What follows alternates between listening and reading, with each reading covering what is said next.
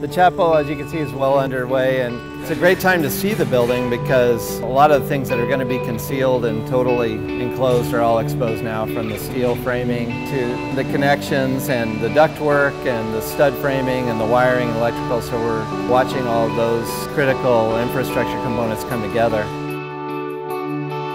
You're starting to see the, the shape of the space is very clear. The high vault, uh, the steeply pitched ceiling, the arches being framed out here at every bay um, that are going to help frame the focus towards the central arch where the uh, platform will be in.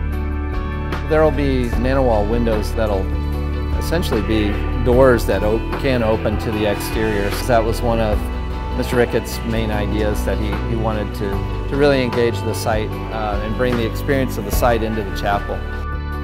The exterior is moving along quite well. Um, the masons are finishing really the, the west end of the building in terms of the stonework. It's an Indiana limestone. There's all these textures and sizes that come together to compose the wall.